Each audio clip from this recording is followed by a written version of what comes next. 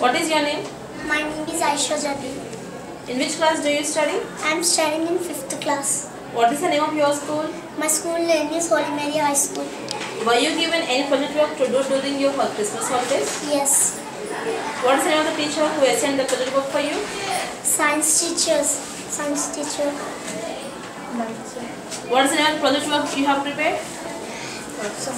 Uh, solar eclipse and lunar eclipse.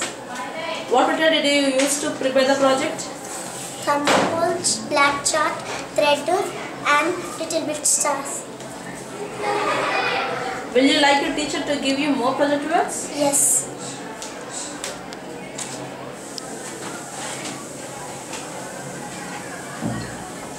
Did you understand about lunar eclipse and solar eclipse after making this project?